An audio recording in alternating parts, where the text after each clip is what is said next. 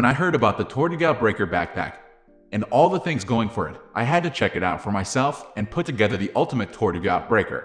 And I'm willing to make the claim that this really could be the best backpack for traveling the world's urban jungles. Thanks to its size and stealth, the Tortuga Outbreaker backpack is arguably a top competitor when it comes to travel backpacks for city ramblers. It's not for everyone, but it's indisputably impressive whether it's for you or not.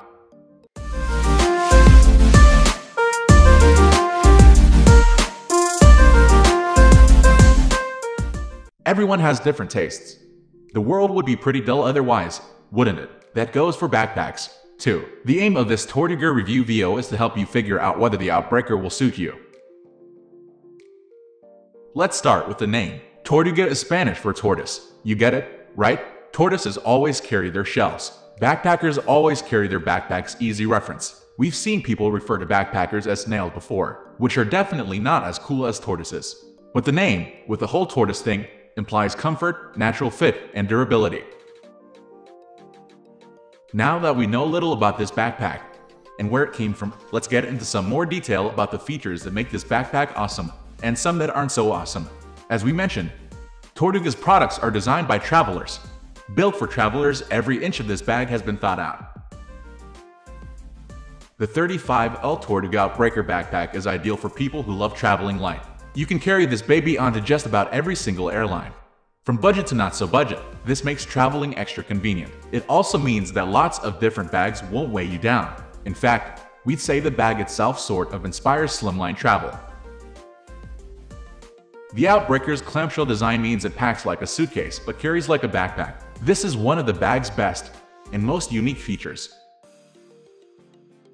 Not only can this backpack be opened like a suitcase, but it also has features similar to a rucksack. On the front of the bag, there's an oversized organizational pocket which is just too perfect for neat freaks. There are specific pockets for just about everything you can think of in this compartment pens, notebooks, other paper items, tickets, your passport, and there's even a little hook to hang your keys on. The shoulder straps have pads, and the Tortuga Outbreaker's chest clip and hip straps add even more comfort. Plus, the back panel is an Aeropreno material, which is great if you're getting sweaty on a hot day. And on that note, like we said earlier, the ventilated backing on the rear of the backpack itself also helps a lot when it comes to comfort. There's tons of ventilation which keeps a sweaty back at bay if you're in a hot country or if you're just a sweaty individual. Even without anything in it, the 35L Tortuga Outbreaker already weighs 4.6 pounds. It's a bit of a trade-off, because all that extra weight comes from the durable materials it's made out of. It's still light, sure, but for a 35L capacity backpack, the Tortuga Outbreaker is heavier than usual, and since you'll probably only have the one bag, you'll be packing it to its bursting point. This means it'll be even heavier. The 45L is around $30 more expensive, but you get a lot more room for the extra dollars. Most airlines will probably take it, but make sure you research ahead of time. Some budget airlines even go so far as to weigh your carry on luggage. There are so many different places to stash your stuff in the Tortuga Outbreaker. From the laptop compartment to the front-loading pocket, you have a lot of choices. This is the ideal backpack for someone who loves to stay organized while they travel. It better, given the materials, the Tortuga Outbreaker won't break under pressure, and it's unlikely to rip. It's one of the most durable bags that we've tried.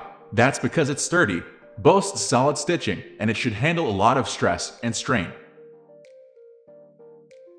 We are going to end this video right away. If you have any query or information to share, please leave a comment below. Thanks for watching.